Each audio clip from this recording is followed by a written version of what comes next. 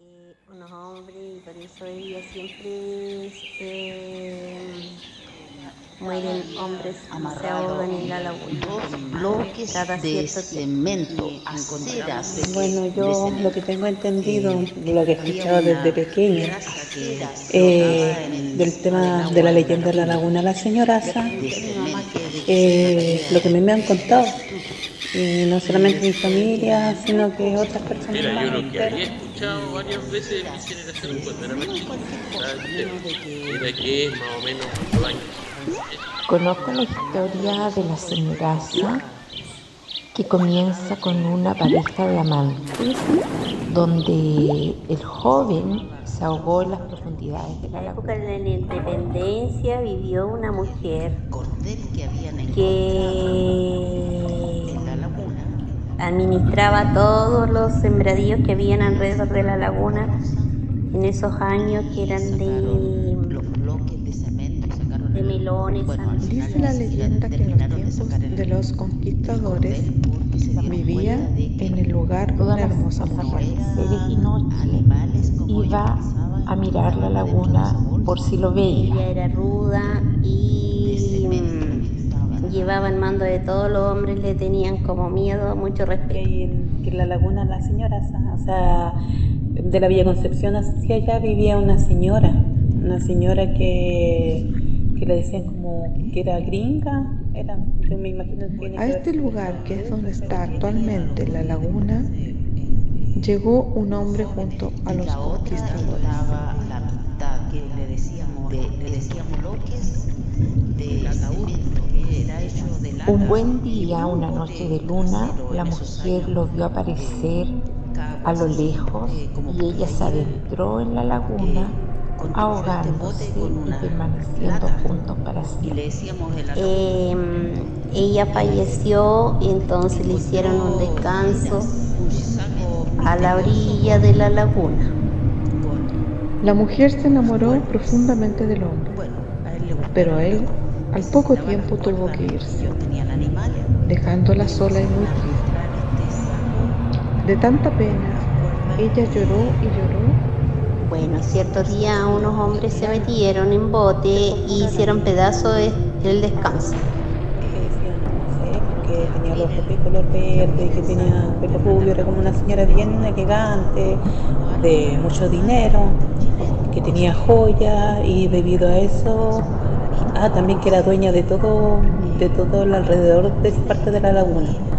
Eh, que debido a eso a ella le entraron a robar Así como también se escucha la historia de que fue una mujer muy adinerada que llegó de, de Santiago y la mataron y la, y la tiraron a la laguna envuelta, atada a un riel. Arrastrar el saco que habían el, el saco y el cordel que habían encontrado lo arrastraron hacia otra parte más baja.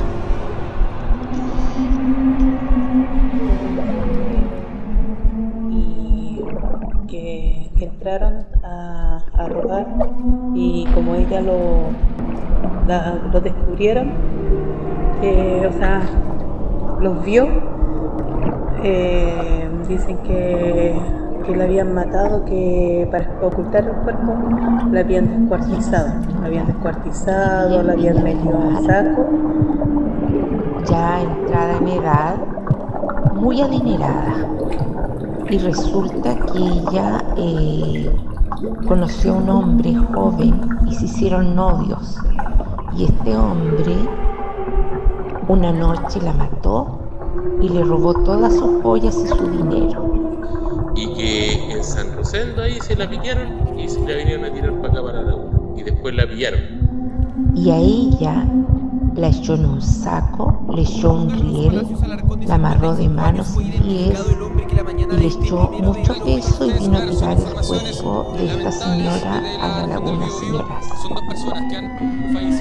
Un cuerpo al parecer de un individuo encontraba fallecido y que le habían tirado a la laguna. Y al enterarse, eh, la gente de los alrededores eh, le había puesto Laguna La Señoraza en honor a ella.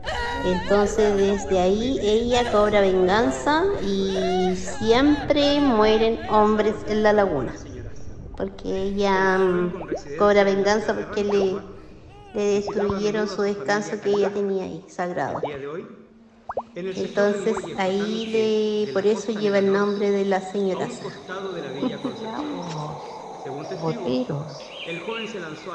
del lugar que andaban recorriendo encontraron un saco y al abrirlo se encontraron con que era la mujer También cada vez que viene, no sé, un afuerino, alguien de afuera, un hombre, eh, se lo lleva a la laguna, o sea, se lo lleva a la señora. Eso es más o menos lo que me ha encantado y, y bueno, y lo que a veces incluso sigue diciendo la gente, que sigue el tema de la leyenda de la laguna porque ha tocado, no sé si coincidencia, ya que yo no soy una persona tan supersticiosa, eh, que usted, bueno, usted yo creo que sabe que, que han pasado situaciones similares.